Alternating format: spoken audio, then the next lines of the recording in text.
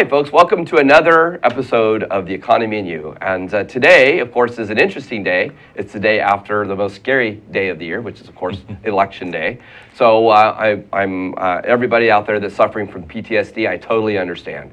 So, today we're going to be talking about entrepreneurship. Uh, we're going to sort of move away from politics now since the election's over.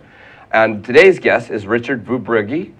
Uh, Richard is an entrepreneur in the greatest sense of the word. He started his own online uh, website. And uh, Richard, welcome to the show. Thank you for having me. Yes, and, and I'm getting over a cold, just so you know that. Okay. So it makes you feel any better now that you've shaken my hand. But welcome to the show. Um, and you are uh, you have started a company. You were an you were an entrepreneur in, in, in the true sense of the word. You started several different companies over the course of your life. Yes. And uh, and then your last venture, which is the one we're going to talk about today, Mm-hmm. is a platform called AutoRepairConnect.com. Yep. Now this um, this is an online business. First Yes. one, first first First online business. first I've- online business that I've done. Yeah. Why? Well, it all started. I, I'm from an automotive background. I was had an auto repair shop in Cupertino when I was in the in the mid '80s, Uh-huh. and then I had a truck accessory store, and I spent a lot of money on advertising. Uh, we used to spend six thousand dollars a month with yellowpages.com and the, Uh-huh. when when it was still the print book where you had the big ads so we were in Right. five different books and it was just a lot of money and so you ended up paying a lot of rent uh, $10,000 a month in rent, $6,000 a month to the Yellow Pages, $30,000 a month in payroll, and at the end of the month, you've really worked to make everybody else a paycheck, to give everybody else a paycheck. So the, the business I wanted to start, I went to the internet, was I wanted no rent, uh, no advertising, and no employees. And so that's why I ended up, and I, the only thing I knew was automotive repair. Oh. And so I thought, well, I'll build a directory for automotive repair shops and auto body, window tinting. Uh-huh. We have almost 20 categories and covers everything from auto repair to window tinting and everything in between. Okay. So um, you started this how long ago? When did this adventure start for you? Well, I had the idea maybe 10 years ago. Uh-huh. And I hired my first uh, website developer, developer right out of college. He uh, had him on an H 1B visa Mm-hmm. when I was living in Sunnyvale, uh, California. Let me guess. And he had an accent. Oh yeah, yeah. Yes. His name. He was from India. Uh-huh. His name was Atul. He he grad, graduated with his master's in computer science and came to work for me. Uh-huh. And we spent about eight months together building out the platform, the dashboard, just the whole the whole product. We built in about eight months. Uh-huh. And this was your first iteration? Yes. Yeah. Yes. And, and how'd that work out for you? Well, he didn't have a, even though he had his master's in computer science, he didn't really have enough experience to build an enterprise level platform.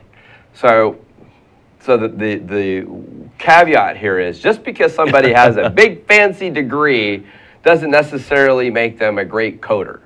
Yes, yes. He experience counts for a whole bunch in yes, this business. That's true. That's true. So now, um, but when you decided to do this, I mean, you, you still had your, your uh, accessories business at the time? No, no. I had been out of, uh, I had been, oh, maybe three years out of that business, and I traveled a little bit in the motorhome and tried to figure out what I wanted to do. And, Uh-huh. and for some reason, I came up with this idea and said, I'm going to give it a shot. And, Okay. And I've been doing it for a few years now. Had the website built twice, and then Uh-huh. had it redesigned once. And now uh, I'm just getting ready to start marketing it. Uh, we marketed it uh, a little bit earlier in the year, Mm-hmm. but now it's time to really push and, and do a hard launch and really take it across the United States as a nationwide platform. So a, a, a, a, an online directory like this, is, it's a nationwide directory? Yes, it is. Okay. So if I'm if I'm in the automobile repair business, Mm-hmm. um, there's Yellow Pages, there's Yelp, there's lots of others, Craigslist. Right. Um, so why why would I want to be listed with you versus as a directory rather than those guys? Well, we're doing things a little bit different. Uh, Yelp, Yellow Pages, they have hundreds of categories, maybe 500 categories, and they Yelp has great reviews. Uh, the users love them. Sometimes some of the, the businesses aren't as, as much in love with Yelp as the users because it is an expensive platform to be on. Uh, and it, you Well, can. how much do you pay for like a Yelp ad? I think the well, they're they started about three hundred dollars a month, and I know people that have paid up to eight hundred dollars a month.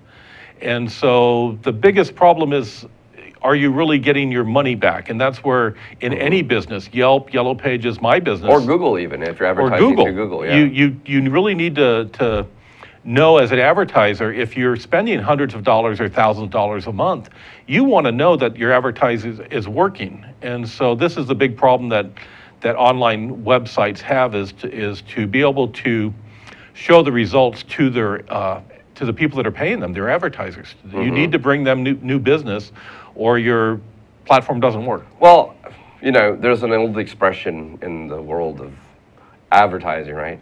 Half the money I spend on advertising, I waste. The problem is determining which half it is. Right.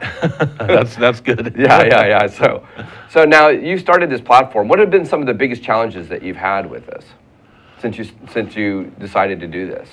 You said you had some prob- challenges with programming. Yes, it's um, when you build something like this to to really make it so it can be done. You you need the advertisers uh, to be able to sign up online. So there's a lot of uh, admin dashboards, advertiser dashboards, manager permissions, and there's a lot of pieces to it. You have uh, Google Maps API, and we have a Yelp API. We show Yelp reviews on our Oh, site. you have Yelp. Oh yes. Yelp, Yelp reviews. Yes, So- we do. Okay, all right. And um, then we have uh, an API for data and another API for Facebook. And so there's a lot of pieces to it. You have email integration, uh, a lot of integration. And so you have a lot of people that have done some coding, but they really haven't done the integrations. And so until they've done one, it, it is a learning curve and everything, everything that needs to be done. So sometimes uh, I heard somebody the other day, they asked him what was the toughest part of his seven years in business. He says, every part of it. And that's Yeah. how I kind of feel. Yeah, yeah, yeah, It's yeah, just- yeah, yeah. Every step of the way, it's been, uh, it's been, It's a slog. it's a, yeah, it is. It's, it's a challenge, but uh, I'm kind of stubborn, very stubborn, and I You just want to do you it. must be a former Marine. Which Yes, I, I am. I, I gave that away. yeah, yeah, because uh, you know Marines have a tendency to be fairly tenacious. yes. Yeah, yes, we even in business. Uh-huh. Yeah. so um, now, what is the um, uh, what is the end game with with this? What for you? What do you see as the end game? What what is the is the platform done, or do you still have more to do with it? Well, the platform, we're getting ready to market it. Of course, on a platform like this, you never really finish. You, Uh-huh. You're always doing work on it. You're, you're getting feedback from your, uh, from the, the business owners, the, Uh-huh. your advertisers, and feedback from the users. And you want to make sure that you're building the best product. Yelp has 300 programmers, and they're always iter, uh, new, new uh, iterations of the new products, new features. Uh-huh. So, so it'll never really be done and built where you can just kind of walk away and say, okay, we did a great job. But we just want to provide uh, the best advertising. We, uh, what I, I've got a kind of a catchwords I use. We want an affordable, an affordable long-term advertising solution for our advertisers. We don't want them to come in and pay us $500 a month, which we're not even close to that. I mean, our, our platform, I won't say the price, but it's very, very reasonable. Okay. And um, we have to prove to our advertisers, to the shop owners, that this works. If, if it doesn't work for them, why would they pay us? Right. And then I, then I think that gives us the advantage compared to some of the larger companies, where they've got Yelp has 300 uh, engineers every day working on their product, and they need to pay these people big money. But Yelp has a bit of a reputation of being kind of a bully.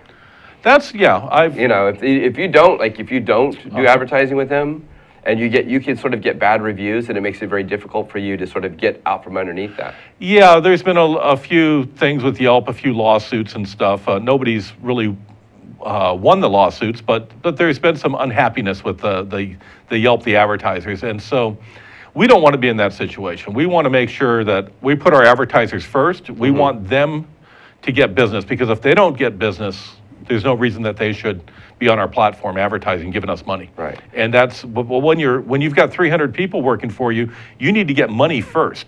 Money first, and worry about getting them business 2nd Uh-huh. That's really the the difference between a funded startup like Yelp and uh, some of the other larger companies, Uh-huh.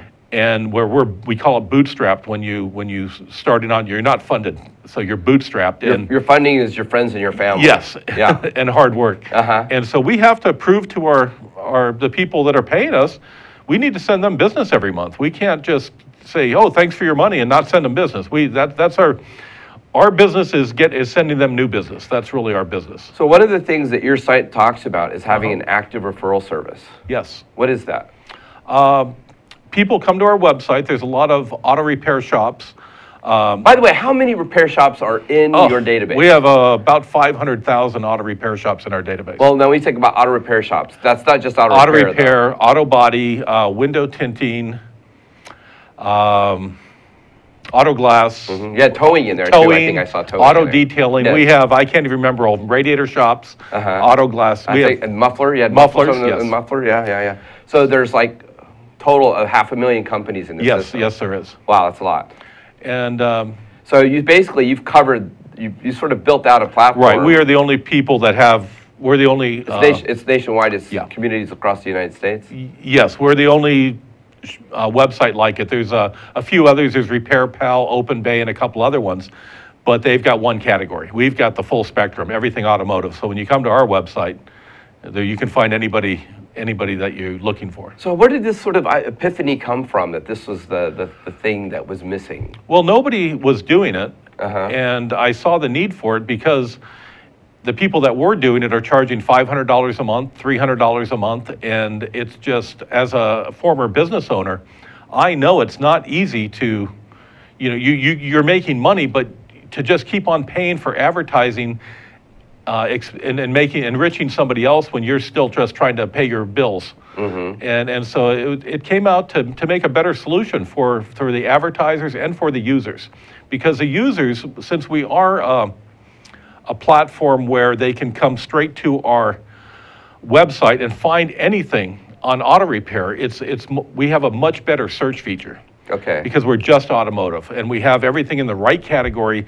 They're not searching searching the whole uh, web for it. They come Right. right. to our website. We have all 500,000 of every business in the United States. Now, there. so when I took a look at the site, one of the Uh-huh. things that I noticed, like with Google, you sort of get you get sort of auto repair, but then you get other stuff sort of in, intermingled in with it. yes, And um, and then some of the some of the stuff, the data is good, some of it's not. But of course, um, with your with your platform, one of the things that I noticed is that it seems to be fairly coherent. Whatever shops are in a specific category, it lets you find it more more more easily. yes, we spend a lot of time cleaning our data, and we make sure we get the radiator shops under radiator and the auto glass under auto glass, and you know every so category. That, Uh-huh. So so when you are a user and you come to our website, you find what you're looking for, and you're not calling.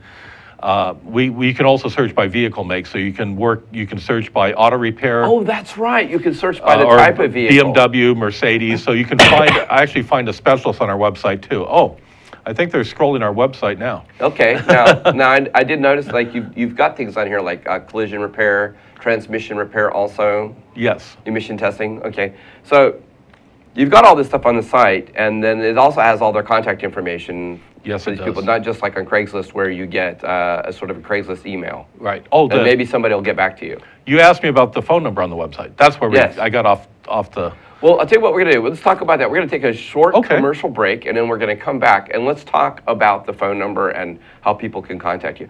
I'm Chris Lethem, and this is the Economy and You. Today's guest is Richard Verbrugge, and we're talking about his company called AutoRepairConnect.com. We'll be right back. Aloha. Hey, Stan Energy Man here. Make sure you tune in on my lunch hour every Friday from noon until 12:30 at least. Maybe I'll go a little long if you got good stuff to, to share with you. But we'll talk about energy, all kinds of energy. My favorite is hydrogen, and my favorite other favorite is transportation and hydrogen. But we'll talk about all kinds of energy. Be with us every Friday at noon, Stan Energy Man. Aloha. Hi, I'm Stacy Hayashi with the Think Tech Hawaii show Stacy to the Rescue, highlighting some of Hawaii's issues. You can catch it at Think Tech Hawaii on Mondays at 11 a.m. Aloha, see you then. Aloha! My name is Reg Baker, and I'm the host of Business in Hawaii with Reg Baker. We're a show that broadcasts live every Thursday from 2 to 2:30. We highlight success stories in Hawaii of both businesses and individuals. We learn their secrets to success, which is always valuable. I hope to see you on our next show. Aloha. Welcome back. I'm Chris Lethem with The Economy and You. Today's guest is Richard Verbrugge with Auto Repair Connect. He is an entrepreneur, an online entrepreneur, and you know, we love people who are doing e-commerce here at Think Tech Hawaii. So, Richard, we were going to talk about when we left. We were, we were going to start Uh-huh. talking about this sort of uh, phone number or active referral service thing that you do. why is that say different than Yelp or some of the other services? What what does that entail? We're the only one that that is doing that because um, you get a lot of people that they they own a car, they don't really know a lot about cars, Yeah. and so your car breaks and you're not sure what it is. So we've got a phone number on our website where the the people that are looking for auto repair or window tinting or transmission repair, they can actually call us, and we have an expert on the phone that will talk to the to the people and say, "What's your problem?" Uh, they won't diagnose your car and fix it for you over Uh-huh. the phone, but we can refer you to one of the shops, uh, e- even if they're not. But you uh, call the shops We first. call the shop and make sure that they can do the work. Okay. We vet the shop to make sure that they're capable. They're uh, They're capable and capable, able. capable and able, and Yeah. they have you know that they've worked on a Volvo before. You don't want to take your car to a sh- your Volvo to a shop that hasn't seen a Volvo in two years. Uh-huh. You want to take your Volvo to somebody that works on Volvos, your Toyota to, to somebody that works on Toyotas, and vice Uh-huh. you know every make. I think that's the biggest problem with. Uh, Poor repair jobs as a mechanic. As a former mechanic, Uh-huh. I've worked on a couple cars in my time that I wish I wouldn't have taken the job. Yeah, and, yeah, and that's yeah. where I got myself where I had an unhappy customer. Uh-huh. So we're trying to alleviate that. So the customer calls us, we refer to them to a shop that we know that can do the work, that has good good reviews, uh, that that has been in business quite a while, and and Because that's the difference between Yelp. Yelp isn't necessarily going to say, "Oh, he did a great job on my Mercedes or my Jag." That's right.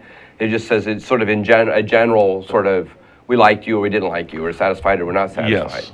What you're really talking about is a more definitive under, you know, um, um, statement of yes, this is somebody that can work on this type of vehicle and has Yes. experience or certification and or both. Exactly. We, Yeah. we know this, we know who's a member of the Automotive Service Excellence, the mechanics. We know who is a member of the Automatic Transmission Rebuilders Association. We know the member shops in all the associations across the United States, as far as auto body associations, ICAR, uh, all of them. We know, so we know what the best shops are, and we know the shops that are fair, that price are, do great work and are fairly price fair.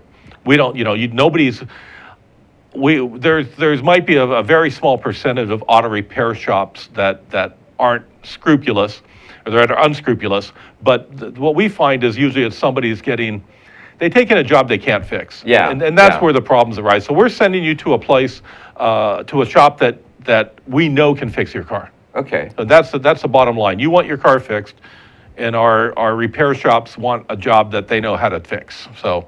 So that's that's and that's that's I think one of the values of what you're trying to offer here is that you're trying to have a value-added service Yes. to beyond say just just an online directory.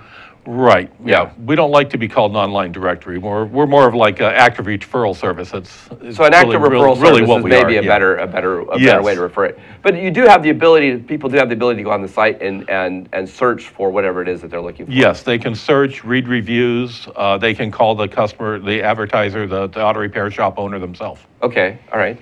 And so, um, what is the sort of um, the the game plan then after you sort of get this thing going? Because you said this is just in the beginning stages. Yes, it is. Okay. And so you, in, there are other things that you intend to add um, to this platform?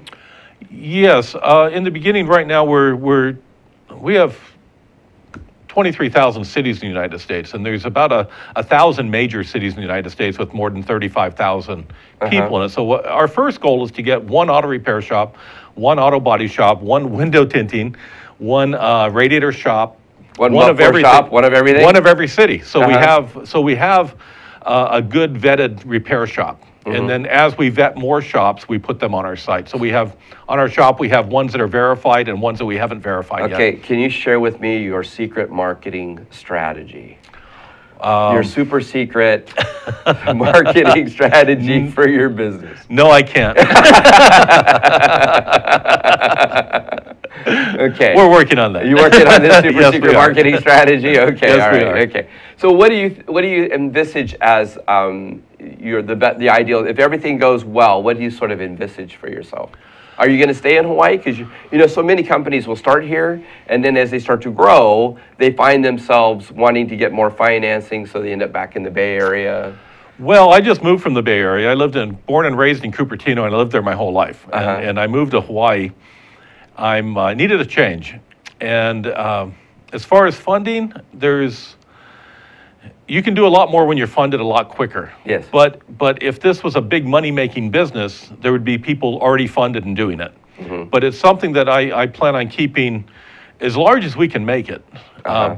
because we're just automotive, and and and be able to be the premier site where people a household name where they say, oh, check out Auto Repair Connect. Mm-hmm. Right. That's where you go to look for it. Well, and, and you know, being able to give people expert advice. I think Yes. one of the things we talked about earlier is giving, be able to give people more expert advice and or um, solutions to say everyday problems, maybe to do with weather or you know maybe the, the you're hearing something Yes. or what do the lights mean when the little lights go on? on your- Right, there's all kinds of information gonna, we're gonna be putting on the website as far as uh, some do-it-yourself fixes and that type of stuff. Uh-huh, uh-huh.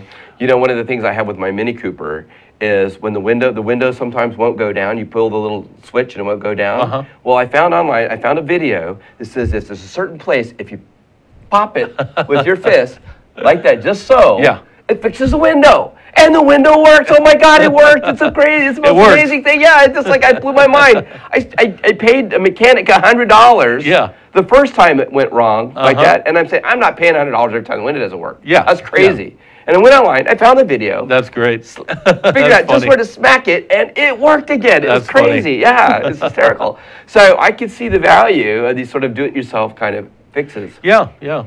Now, we want to, there's other things we can do to Uh-huh. drive, our, our business is driving traffic to the auto repair shops, bringing them new customers. Uh-huh. That's our business, and finding the right repair shop for the customer that's looking to get their car repaired. And one of the challenges, of course, with an online business is showing up on the first page of a search engine. Right. Yeah. Now there are those sort of those most powerful words which everybody's fighting for. Uh-huh. But one of the things I know, having been a, a, a search a a search engine optimizer Mm-hmm. kind of guy, is that there's also lots of words that aren't necessarily as popular. Yes. But it's much easier to show up. Yes. Under those search terms, like showing up under muffler is going to be. A lot easier to show up. Muffler repair is a lot easier to show up than Yes. auto repair. Auto repair True. is a sort of big word, where muffler repair would be more specific. And muffler repair, repair in Honolulu Uh-huh. is a much easier search term to show up under Right. than muffler repair in, say, San Francisco. True, true. Yeah. So one of the keys, of course, to successfully showing up on the first page of any search engine is not necessarily trying to fight for those bigger words. Yes, that's true. And Mm-hmm. um, we, we, we aren't on the first page of Google. We need to be on the first page of Google for every city, every category in the United States. So that's a little, that takes time to build up there. Uh-huh. But what we're doing is we're integrated with Facebook. And so we, the average Facebook user spends 40 minutes a day on Facebook, which is 242 hours a year. Wow. So we're doing a lot of marketing on Facebook because Uh-huh. we know where your customers are. Your customers are on Facebook 242 hours a year. Uh-huh. And so we're marketing our business on Facebook. So we're getting a lot of traffic from Facebook. Now, what about YouTube?